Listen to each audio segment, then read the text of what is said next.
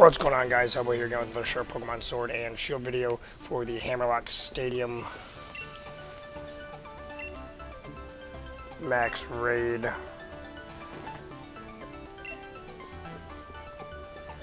Um, same thing as always, this is like a fourth one, fifth one, I don't know. it's too many, if you ask me. Um, this is all part of the post game. Obviously, I've beaten the game. Um, so,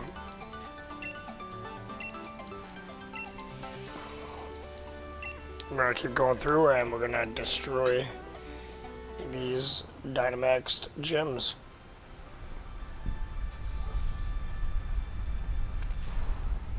While chasing down the legendary dog.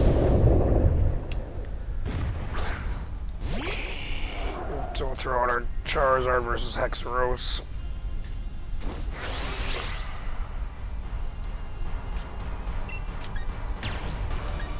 use Max Wyrmwind. It's literally just me against him. it's kind of weird.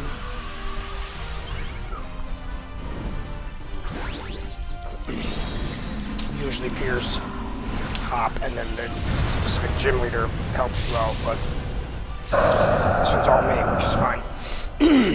yeah, my Gigantamax Charizard, level 100. It's pretty nasty. One shot. Super effective against dragons, especially steel dragons.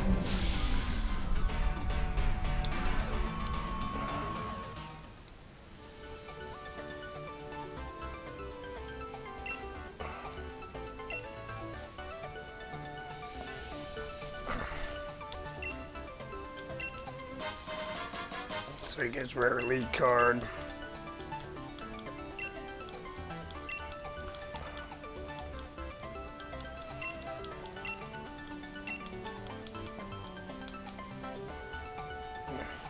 Alright guys, as always, like, comment, subscribe, let me know what you're thinking.